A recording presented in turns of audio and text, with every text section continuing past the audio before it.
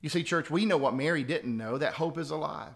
That hope shows up and brings light to her dark world. We have seen that hope, that hope that is alive here at Gainesville First United Methodist, through the meals that have been served, through neighbors checking on neighbors, through masks being made for medical professionals, and multiple unseen ways that people are carrying on during this time. The resurrection of Jesus announces with a mighty force that hope is alive. Easter is a celebration of that hope. And darkness may be filling the, day, the, the daily news, but we can have hope because the light is coming. The hope of resurrection is that this world, this world is not just the world where Jesus died. This, my friend, is the world where Jesus lives. And Jesus still brings hope to, to a dark world.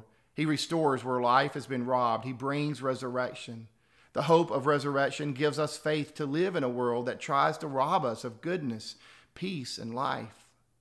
Faith gives us courage to look into the darkness of that empty tomb, into the uncertainty of the future, into the face of any darkness we are faced with, and trusting, trusting in the love of God. I've been asked frequently, how can I really have hope in these times? And my answer seems to always be the same because He lives. Because He lives, we can face these uncertain days. Because He lives, we can face tomorrow. Because he lives, we don't have to fear. Because he lives, life is worth living because he lives. So, this Easter, as the virus rages all around,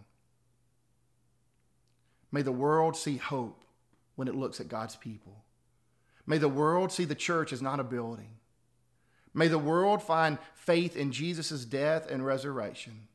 And may 2020 be known more than just the year of survival May it be known as the year of revival.